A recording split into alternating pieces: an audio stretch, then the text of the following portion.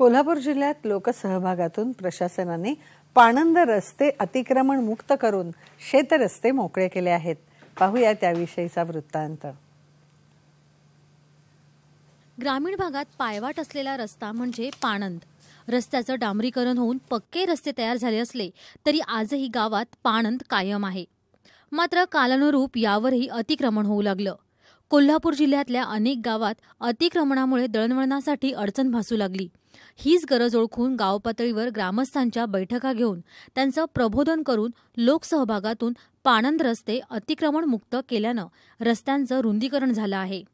ग्रामस्थांच्या सहकार्यानं प्रशासनानं मोहीम हाती घेऊन गडहिंग्लज आजरा भुदरगड राधानगरी पन्हाळा आणि करवीर या तालुक्यांमध्ये अतिक्रमित पाणंद खुल्या केल्या असून शेकडो किलोमीटरचं काम सुरू आहे.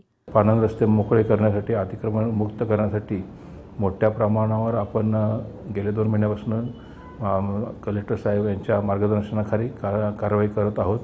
आणि यामध्ये आतापर्यंत जिल्ह्यामध्ये तीनशे ब्याऐंशी गावा र- पाणंद रस्ते हे अतिक्रमण काढण्यात आलेले आहे जवळजवळ एकशे त्रेसष्ट किलोमीटर रस्ते त्यामुळे शेतकऱ्यांना उपलब्ध झालेले आहेत. यामुळे शेतकऱ्यांना शेतात मा शेतातील कामं करणे शेतातील माल मा मा कारखान्यांना पोचवणे किंवा मार्केटमध्ये नेणे यासाठी मोठ्या प्रमाणावर सुविधा निर्माण झालेल्या असून शेतकऱ्यांना शेतकऱ्यांचा त्यामध्ये चांगला प्रतिसादही मिळत आहे. पाणंद अतिक्रमणमुक्त झाल्यानं शेतकऱ्यांची चांगली सोय झाली आहे.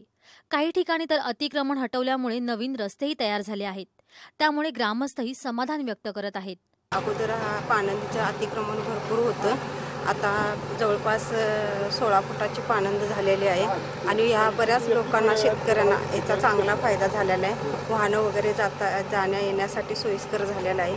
त्यामुळं या पानंदीचं रुंदीकरण केलेलं आहे. महाराष्ट्र राज्य स्व अभियान अंतर्गत जे पानंदी रुंदीकरणाचं का जे काम चालू आहे या रुंदीकरणामुळे सर्व शेतकऱ्यांचा या खूप मोठा फायदा होणार आहे. जेणेकरून पहिला त्यांना डोक्यावरून घेऊन जात जायला लागत होतं. तर ते न जाता आता त्यांना शेतापर्यंत गाडी जाईल ट्रॅक्टर जाईल याचा फायदा त्यांना पुढील सर्व शेती कामामध्ये होणार आहे.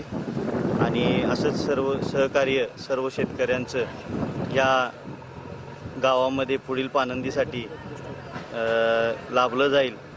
गाव विकासासाठी प्रशासनाला सहकार्य करत कोल्हापूर जिल्ह्यातल्या ग्रामस्थांनी एक आदर्श निर्माण केलाय. शिवाय शासनाची एखादी मोहीम गावात किती बदल घडवू शकते हे महसूल लोकजत्रेच्या पाणंत खुली करण्याच्या मोहिमेनं दाखवून दिलं आहे. शशी गजवाणी दूरदर्शन बातम्यांसाठी कोल्हापूर.